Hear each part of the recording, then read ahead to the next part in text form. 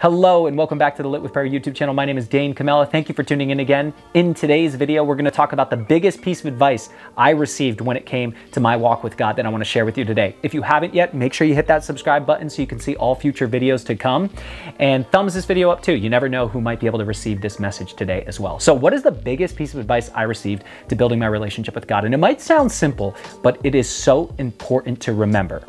It's a relationship and not a religion. I'll say that again. It's a relationship and not a religion. And I know you might have heard that before, but when you accept Jesus into your heart as your Lord and Savior, that is the first part in this whole process. Yes, you are saved and your citizenship is in heaven, but you have to build a relationship.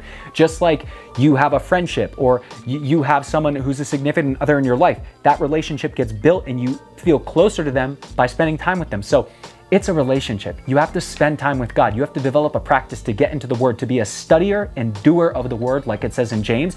You have to develop a practice where you can read and study the Bible with others, attending a Bible study in your church, going to church every Sunday, getting into the physical body of church, praying and getting into praise and worship. These are all things that help you build your relationship. And I didn't understand that in the beginning. That's why my relationship with God didn't start until I was 18 years old. I went to church, I went through the motions, I never felt a connection with God because I never built a relationship with God. God. When I started building my relationship with God, doing things that helped me understand God's word for my life, apply it into my life to be a doer of the word, pray and bring my concerns and worries to God, talk to Him about what's going on in my life, I got to build a relationship and have that connection and feel God's presence and calling and movement on my life.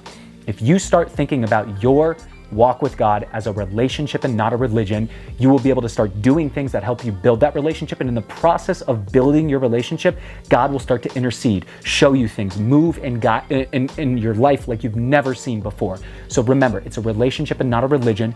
Do things that help you build your relationship and protect what you believe in that acceptance of Jesus into your heart as your Lord and Savior, and He is going to change your life over time. Remember, great things take time Keep building your relationship with God every single day and let God do wonderful things in your life, show you new things, open new doors of opportunity, bring new people into your life. You won't imagine what God can do as you give Him your time, your attention, and your personal effort. Thank you for watching this video. Make sure you subscribe if you want to see future videos to come. And I look forward to seeing you in the next video. God bless you.